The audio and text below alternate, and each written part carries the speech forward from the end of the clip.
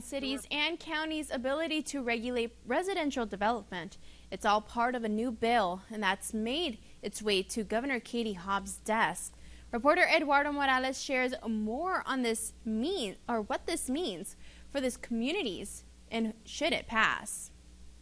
According to the Arizona League of Cities and Towns, the bill is meant to begin more starter home development. However, not everyone is on board.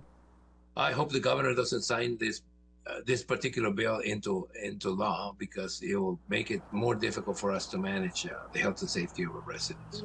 Yuma Mayor Doug Nicholls explains how the bill would change residential development. It takes that process out of the hands of not just the city, but the people of Yuma, because they have no voice on whether they want their, their neighborhood to now have really small lots. Mayor Nicholls also says the bill could bring other issues to our area, such as not having a local say in determining density and housing types. We don't design them, we don't plan them, we don't prepare for them with that level of intensity. And so things like water lines, sewer lines, uh, even our, our, emergency responses, our uh, parking, things as simple as parking become more difficult.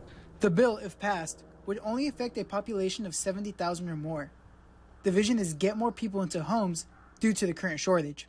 Governor Hobbs has five days to either sign or veto the bill. Reporting in Yuma, Eduardo Morales. 13 on your side.